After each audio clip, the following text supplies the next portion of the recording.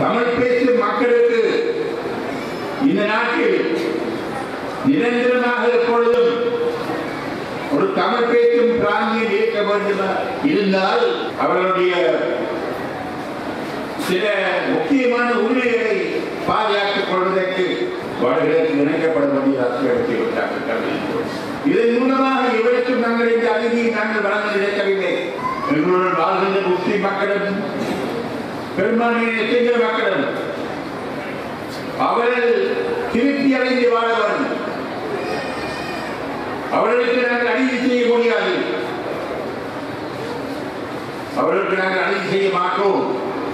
அவரது உரிமைகளும் பாதுகாக்கப்பட வேண்டும் அவரது உரிமைகளை பாதுகாப்பதற்காக என்னென்ன செய்ய வேண்டுமோ என்னென்ன பாதுகாப்பு பொருட்கள் செய்ய வேண்டுமோ என்னென்ன சலுகைகள் செய்ய வேண்டுமோ அதை செய்வதற்கு நாங்கள் தயாராக இருக்கின்றோம் தேசிய இனப்பிரச்சினைக்கான தீர்வை ஒருவரை ஒருவர் ஏமாற்றிப் பெற முடியாது எனவும் இந்த நிகழ்வில் தொடர்ந்து உரையாற்றிய எதிர்க்கட்சித் தலைவர் சம்பந்தன் குறிப்பிட்டார்.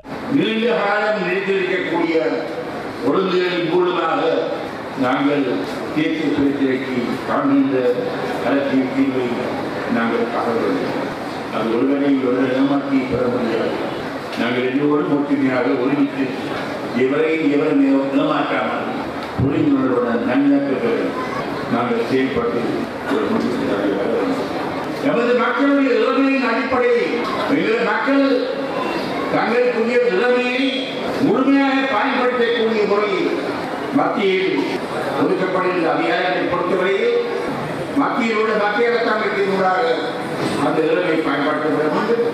பிராந்தியங்களுக்கு மாகாணங்களுக்கு ஒப்படைக்கப்படுகின்ற கடமைகளை பொறுத்தவரையில் அந்த இளமையின் அந்தந்த மாகாணங்களில் அந்தந்த பிராந்தியங்களில் அந்தந்த அதிகாரிகள் பயன்படுத்தப்பட வேண்டும் உள்நாட்டு மண்டலங்களை பொறுத்தவரை அவர்களுக்கு ஒதுக்கப்படுகின்ற அதிகாரிகளை பொறுத்தவரை அதே இளமையின் அடிப்படையில் அந்தந்த உள்ளாட்சி மன்றங்களுக்கு அளிக்கப்படுகின்ற அதிகாரங்கள் பயன்படுத்தப்படுகின்றன.